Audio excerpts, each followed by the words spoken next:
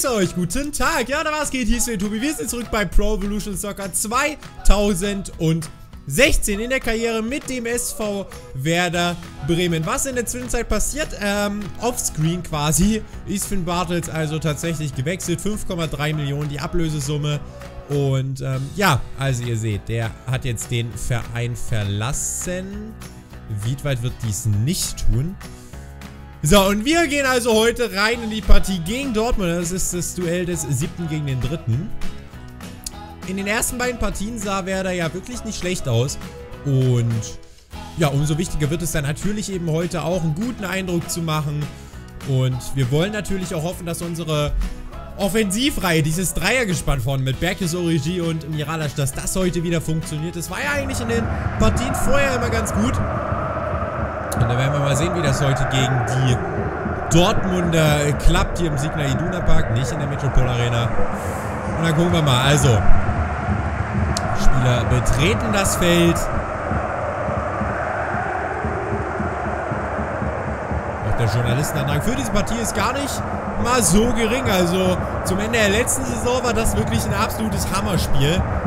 Schön, dass wir das jetzt relativ früh in dieser Saison bekommen. Also, Werder Bremen gegen Dortmund. Die Dortmunder haben den Anstoß und von links nach rechts stoßen die Gelben an. Und Werder Bremen wird also hier versuchen, an die guten Leistungen anzuknüpfen. Divok Origi bekommt den Ball gegen Mats Hummels. Divok Origi, der Abschluss. Ja, geht doch gut los. Also Werder Bremen mit dem ersten Annäherungsversuch. An den Kasten von Birki, gucken wir mal. Ja, Origin nicht schlecht. Visiert das lange Eck an, aber der Ball geht vorbei. Abstoß vom Kasten des Schweizers. Durm. Mit Gündogan. Wieder Erik Durm. Und hinten steht Mats Hummels. Hilft ein bisschen aus. Der Ball war nicht ganz ohne Risiko vom Nationalspieler.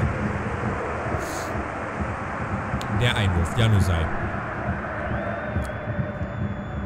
Ja, also Werder Bremen drängt Dortmund hier doch deutlich in die eigene Hälfte. Die Borussen schaffen es da gerade nicht so großartig für Entlastung zu sorgen.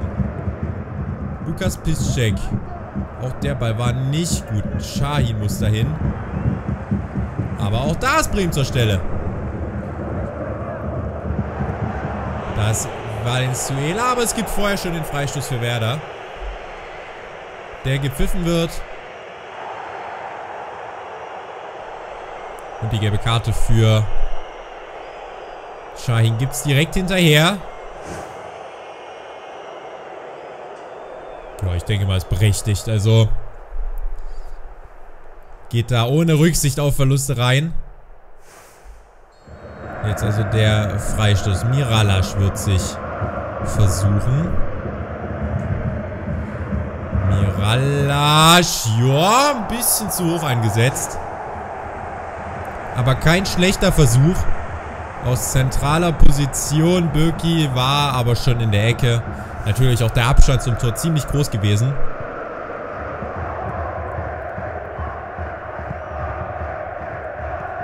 Birki spielt die Abstöße bisher immer kurz. Ich weiß nicht, inwiefern das was zu sagen hat. Origi geht da auf Birki drauf. Da ist Bergius, der versucht das mal. Miralasch, Birki zum ersten, aber nicht zum zweiten. Bergius Tor! Und Werder Bremen führt nicht. Abseits. Eieiei, da haben die Dortmunder aber gerade mal das ganze Glück zusammengekratzt, was sie hier finden konnten. Richtige Entscheidung. Pfostenschuss von Junusovic. Der Ball dann von Bergius ist drin, aber es reicht nicht zum 1-0. Dortmund hat Glück. Eieiei, also die wirken doch ein bisschen unsicher. Gerade solche Sachen zeigen das. Origi. Origi gerade so noch getackelt von Gündogan. Galvez macht er ganz stark. Valenzuela. Valenzuela. Da kommt Origi und da ist das 1-0. Und das haben die Bremer erzwungen. Und deswegen geht das in Ordnung. 1 0 Werder Bremen, Divok Origi. Der Neuzugang trifft nach 13 Minuten. Gucken wir nochmal. Galvez mit der Balleroberung. Da ist Valenzuela. Hat Platz. Dann kommt Hummels angeflogen. Und dann ist Orichi der, der am schnellsten schaltet. Nimmt Hummels den Ball ab. Und Werder Bremen führt mit 1 zu 0. Das hat man sich erkämpft. Also Valenzuela gefault. Er legt sich auch nicht auf den Ball oder so. Origi ist einfach schneller als Hummels. Da der Abschluss und das Tor. 1 zu Werder. Also so lässt sich das sehen. Guter Start für die Norddeutschen. Die sich also hier dieses Tor krallen können. Miralasch mit dem Ball auf Origi. Origi aber noch gerade rechtzeitig attackiert. Bremen ist on fire. Die wittern hier die Chance. Dortmund wackelt. Dortmund wackelt. Origi 2-0. Eiskalte Bremer. Sorgen hier für die Dortmunder Dusche. Aber für eine ganz kalte. 2 zu 0. Ein ganz starkes Tackling von Felix Groß gegen Gündogan. Bringt den Ballgewinn. Und dann ist Groß in der Lage, Origi zu sehen.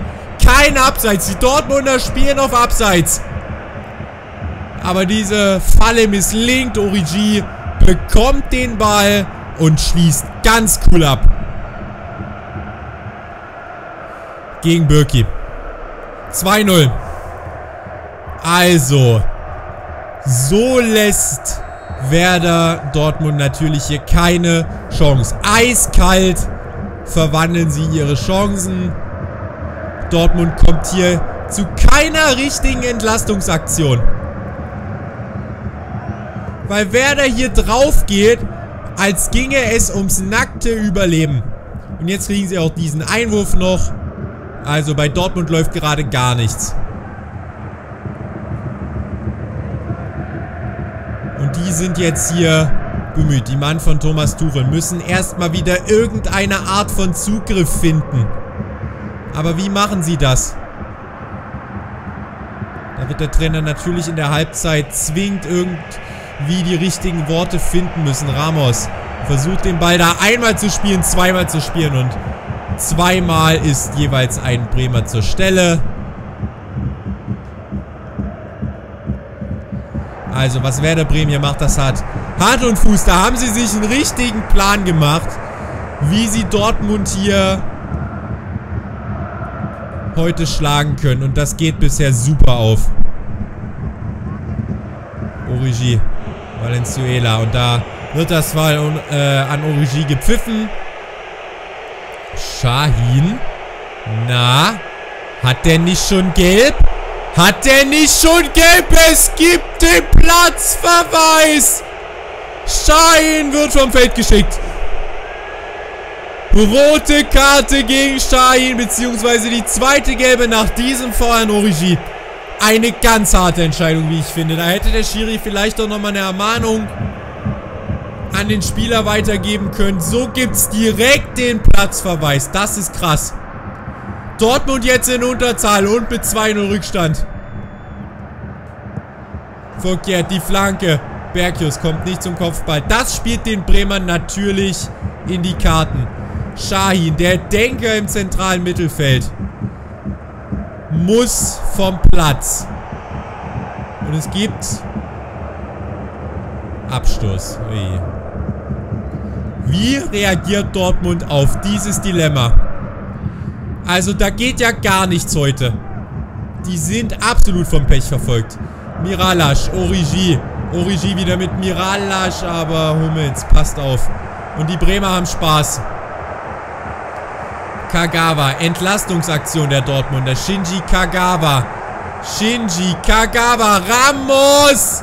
Und dann ganz starkes Tackling von Yannick Westergaard. Reus, die Situation ist noch nicht durch. Jetzt ist auch Wiedwald da. Was Werder Bremen hier macht, wie man sich aufopferungsvoll diese zwei Tore Führung verdient und erarbeitet. Ich glaube, das ist heute absolut bemerkenswert. Diese Bremer wissen, worum es geht. Und kämpfen dafür mit allem, was sie haben. Ramos, kriegt er den noch? Ne, ist zu weit.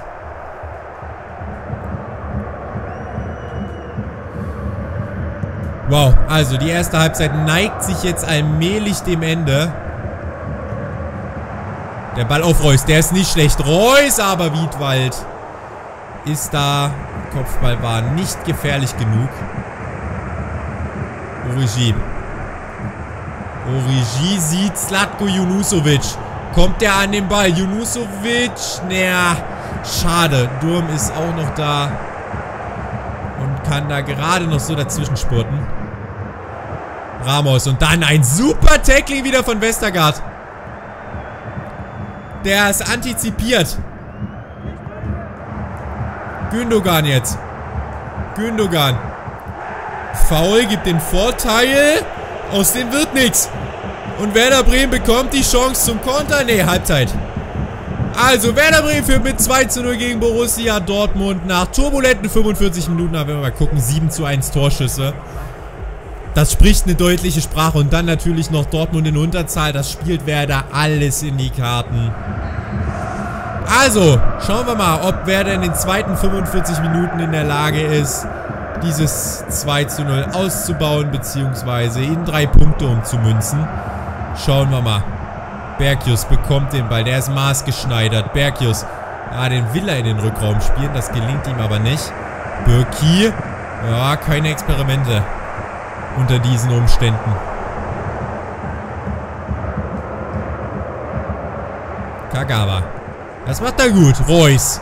Der Ball auf Gündogan und der zumindest mal mit der ersten richtig, richtig guten Torchance für die Dortmunder. Aber da fehlt ihm dann die Genauigkeit. Westergaard versucht noch alles, um ihm da sämtliche Genauigkeit beim Abschluss zu nehmen. Das gelingt ihm auch. Also Yannick Westergaard, der auch ein super Spiel macht. Und auch dazu beiträgt, dass Werder Bremen hier mit 2 zu 0 führt. Auch das kein Foul von Felix Groß. Origi mit Junusovic. Junusovic wieder mit Origi. Birki ist da. Ui. Es geht weiter wie in Halbzeit 1. Dortmund kriegt das Scheuntor nicht zu. Also da brennt's lichterloh.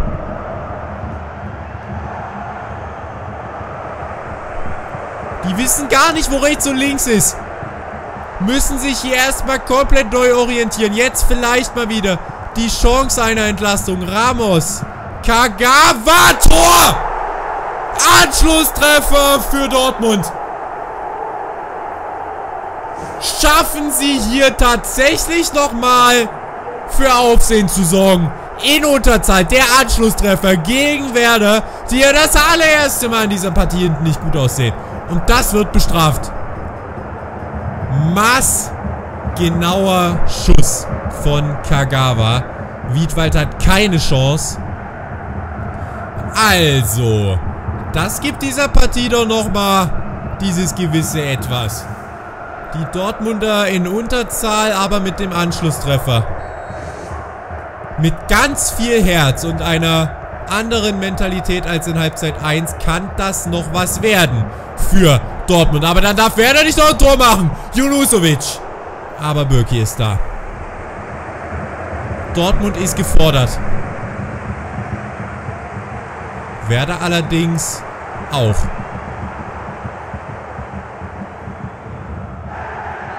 Ja, das war ein Foul. Richtig gesehen vom Referee. Und da gibt es auch die gelbe Karte für Bergius. Oder ist es Valenzuela?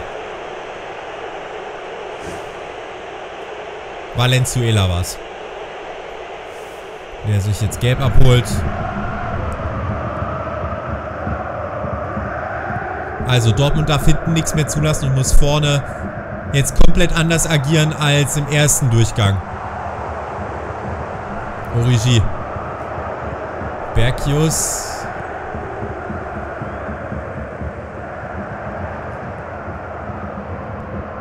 Miralasch. Divock Origi. Gut verteidigt von Hummels. Miralasch, draußen ist Junusovic. Oh, versucht den Ball dann auch irgendwie in die Mitte zu kriegen. Da war viel Platz. Westergaard, kompromisslos. Der Ball auf Berkius. Oh, der kriegt nur noch eine Fußspitze dran. Gute Chance jetzt wieder für Werder. Das 3-1 würde Sicherheit geben. Valenzuela hat schon gelb. Und das könnte Diskussionen auslösen, denn Schein flog für ein vergleichbares Foul vorhin vom Platz. Das könnte Diskussionen auslösen. Kagawa erstmal. Kagawa! Die Chance zum 2-2. Dortmund nutzt sie nicht. Dortmund nutzt diese Chance nicht. Kagawa macht das ganz stark gegen zwei Bremer die da nicht faulen wollen, aber dann auf einmal ist er frei durch. Und ich weiß nicht, ob Wiedwald den gekriegt hätte. Ganz starke Aktion von Kagawa, aber es reicht nicht zum Ausgleich. Durm. Ramos. Wieder Kagawa. Und da ist Wiedwald. Da musste er auch sein. Ganz außen. Ganz viel Platz für Miralasch. Der sieht in der Mitte Divok Origi. Und dann muss Ginter auf Nummer sicher gehen. Einwurf Werder. 3-1 wäre jetzt wichtig. Origi. Ganz stark gemacht. Schön dazwischen gespurtet. Westergaard holt sich den Kopfball. Junusovic. Da ist Miralasch. Da ist Miralasch. 3-1 Werder. Und das ist eine Qualität in dieser Situation jetzt auch zu treffen. Kevin Miralasch mit dem 3-1. Und das ist so wichtig. Westergaard gewinnt das Kopfballduell. Damit geht's los. Dann hat Junusovic viel Platz. Miralasch, der winkt da schon. Aber jetzt auch Hummels, der sieht, dass Origi da frei ist. Und dann ist er hin und her gerissen. Und Miralasch mit einem eiskalten Abschluss. Ginter versucht dann noch alles. Gucken wir nochmal. Hier hat jetzt Origi ganz viel Platz. Das sieht Hummels. Deswegen orientiert er sich auch in die Mitte. Und Miralasch nutzt diesen Platz. Und wartet ganz lang, bis Birki einen Move macht.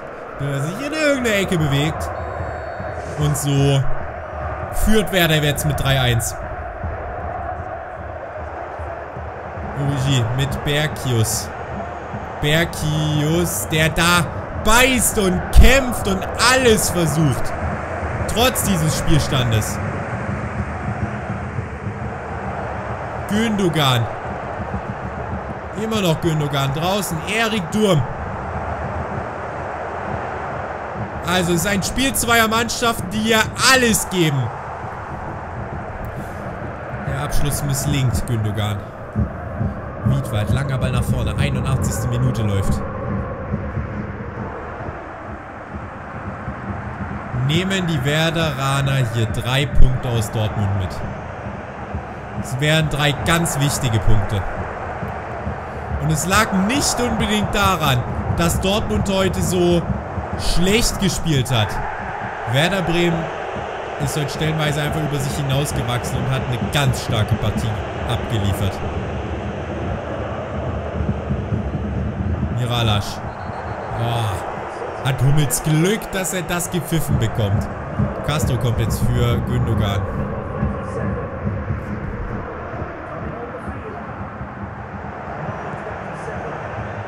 Miralasch, ja, versucht da alles. Ramos nochmal. Adrian Ramos. Der Ball in die Mitte, aber die Bremer klären das sehr gut. Der Ball drüben auf Divok Origi. Nicht im Abseits. Origi doch im Abseits. Gucken wir. Ja, okay, das war eindeutig. Das war eindeutig. So, vier Minuten gibt es aber oben drauf. Dreieinhalb Minuten für die Dortmunder hier zwei Tore zu machen. Man könnte meinen, das ist zu wenig.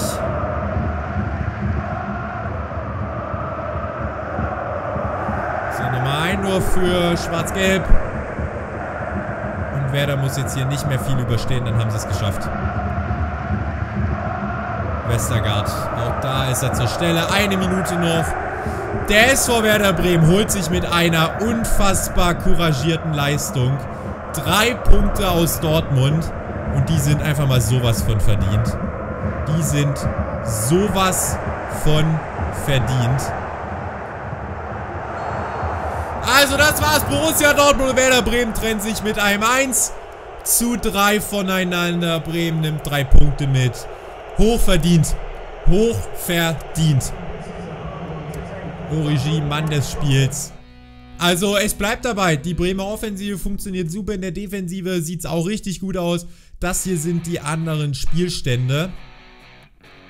So sieht also jetzt die Tabelle aus. Werder Bremen übernimmt die Tabellenführung vor Bayer Leverkusen und den Bayern.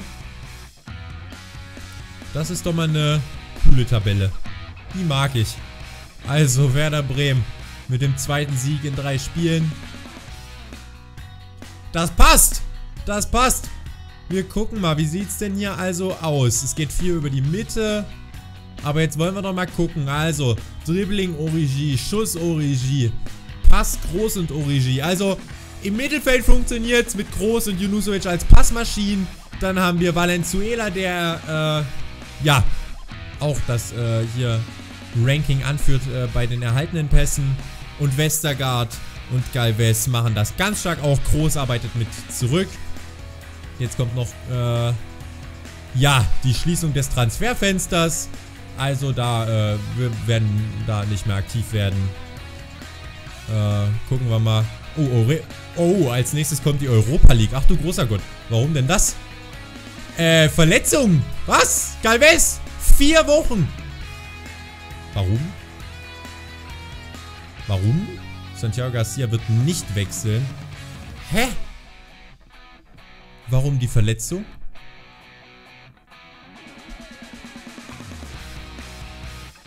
Wo ist er denn? Galvez. Äh. Alles klar. Das ist natürlich jetzt blöd. Das ist natürlich jetzt richtig blöd.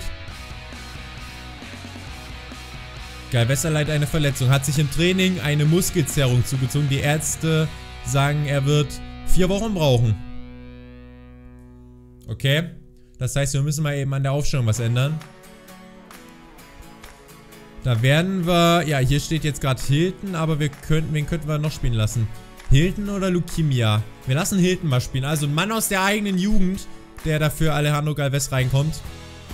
Okay, also als nächstes Europa League gegen Olympic Lyon. Lasst uns doch mal schauen, wer ist denn bei uns in der Gruppe? Also, gucken wir mal. Gruppe F. Bremen ist in einer Gruppe mit äh, Nizaloskis, Belenenses äh, und Olympique Lyon. Okay.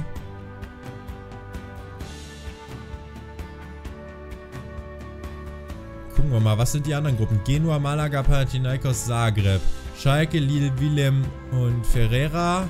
Utrecht, Braga, Monaco, Wolfsburg.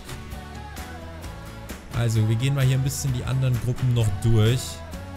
Auch Köln spielt Europa League. Köln, Wolfsburg und Werder sind also die Vertreter auf der internationalen Bühne.